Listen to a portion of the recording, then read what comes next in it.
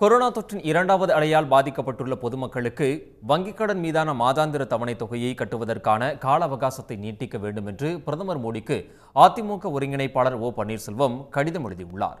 நேற்று தாம் எழுதியுள்ள கடிதத்தில் கொரோனா தொற்றால் தமிழ்நாட்டில் தற்போது முழு ஊரடங்கு அமலில் உள்ளதை சுட்டிக்காட்டியுள்ள ஓ. பன்னீர்செல்வம் இதனால் மக்களின் வாழ்வாதாரம் பாதிக்கப்பட்டுள்ளதோடு பலர் வேலையையும் வருமானத்தையும் இழந்துள்ளனர் என்றும் குறிப்பிட்டுள்ளார்.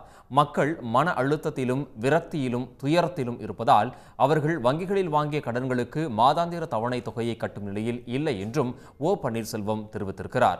எனவே இஎம்ஐ எனப்படும் மாதாந்திர தவணை தொகையை கட்டுவதற்கான கால அவகாசத்தை மூன்று மாதங்கள் நீட்டிக்கவும் இந்த காலகட்டத்திற்கான வட்டியை தள்ளுபடி செய்யவும் நடவடிக்கை எடுக்க சம்பந்தப்பட்ட துறை அமைச்சகத்திற்கு உத்தரவிட வேண்டும் என்றும் பிரதமர் மோடியை ஓ பன்னீர்செல்வம் கேட்டுக்கொண்டுள்ளார்.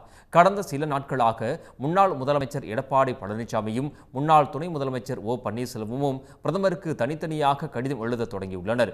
கடந்த திங்கட்கிழமையன்று ஓ பன்னீர்செல்வம் எழுதிய கடிதத்தில் தொற்றால் பாதிக்கப்பட்ட ஏழை குடும்பங்களுக்கு பண பலன்கள் கிடைக்க கோரியிருந்தார். எடப்பாடி பழனிசாமியோ கரும்பூஞ்சை நோய்க்கு கூடுதல் மருந்து கேட்டு கடிதம் எழுதியிருந்தார். தற்போது முன்னாள் முதலமைச்சர் என்ற பெயரில் ஓ பன்னீர்செல்வம் மீண்டும் பிரதமருக்கு கடிதம் எழுதியுள்ளார். உடனுக்குடன் செய்திகளை தெரிந்து கொள்ள சன் நியூஸ் பெல் ஐகானை கிளிக் பண்ணுங்க.